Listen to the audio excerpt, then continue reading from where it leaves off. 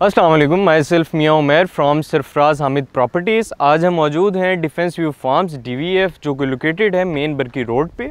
हमारे बिल्कुल सामने, बिल्कुल अपोजिट डिफेंस का फ़ेज़ सेवन मौजूद है सेक्टर यू जब हम D H F phase seven से एग्ज़िट करते हैं तो right after one and half kilometre हम अप्रोच कर लेते हैं डी वी एफ़ यहाँ पर दो कनाल चार कनाल छः और आठ कनाल के फार्म हाउस के लिए प्लॉट्स अवेलेबल हैं। मेरी दाई तरफ़ मौजूद है स्पेस जो कि एलोकेटेड है कम्युनिटी हॉल के लिए कम्युनिटी सेंटर के लिए, जहाँ पे मैं मौजूद हूँ। ये मेन रोड है। मेन रोड जो एंटर हो रहा है फ्रॉम कनाल बीआरबी ये डबल साइड रोड है जो कि 60 फीट वाइड है।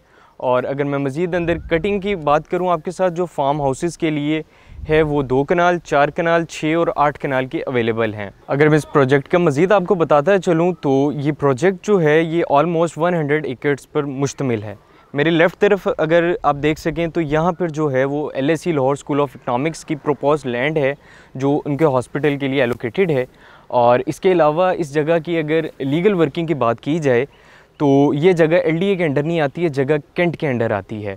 इसका मोज़ा बरकी है और तहसील इसकी कैंट आती है। डीवीएफ जो कि A B and C block पर मुश्तमिल है, वहाँ पर लोगों ने अपने फार्म हाउस प्लाट्स लेकर परचेज़ कर कर वहाँ पर अपनी कंस्ट्रक्शन का आगाज़ कर दिया है। और इसके अलावा चूँकि डेवलपमेंट चल रही है, लोगों का इन्फ्लुएंस इसकी तरफ़ बढ़ रहा है।